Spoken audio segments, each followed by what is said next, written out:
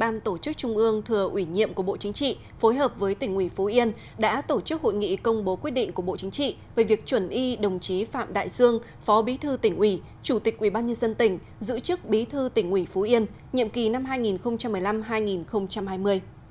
Phát biểu tại hội nghị, đồng chí Nguyễn Thanh Bình, Phó trưởng Ban Thường trực Ban Tổ chức Trung ương, đề nghị đồng chí Phạm Đại Dương nhanh chóng tiếp cận công việc mới, sâu sát với cơ sở và thực sự cầu thị để cùng với tập thể Ban chấp hành Đảng bộ tỉnh Phú Yên lãnh đạo thắng lợi nghị quyết Đại hội Đảng toàn quốc lần thứ 12 và các mục tiêu nhiệm vụ mà Đảng bộ tỉnh đã đề ra.